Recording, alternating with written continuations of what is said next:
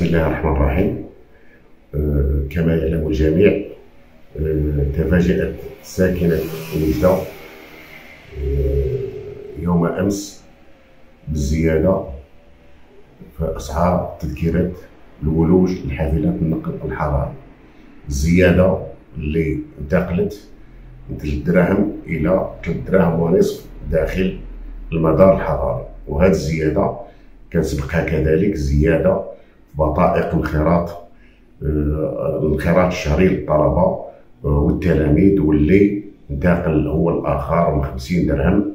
إلى 70 درهم. بطبيعه الحال هذه الزيادة كتجي في واحد الظرفية حساسة جدا تتميز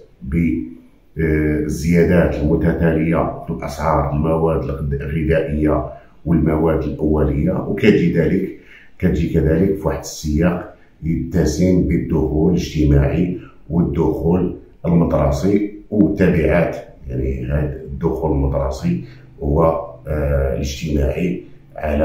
آه القوت اليومي لعموم المواطنين والمواطنات وطبيعة الحال آه الشركة بررت هذه الزيادة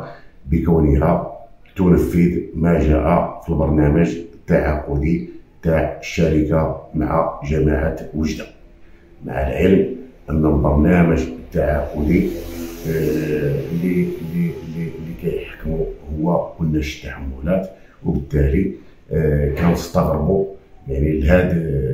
الالتفات فقط إلى جيوب المواطنين عوض يعني الاعتناء آه، بالمرفق نتاع النقل الحضاري عوض مثلا أن تلتزم الشركة بعدد الحافلات المنصوص عليها في كل التحملات عوض أن تلتزم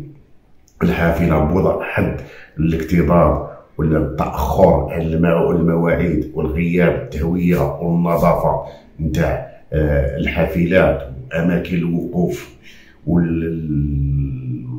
والواقيات الشمسية إلى غير ذلك من مجموعة من البنود المتضمنة في كناش التحملات للأسف آه، مجلس جماعة وجدة صادق في وقت سابق على نقطة آه، أدرجت في جدول أعماله تتعلق بتعديل البرنامج التعاقدي للشركة مع جماعة وجدة.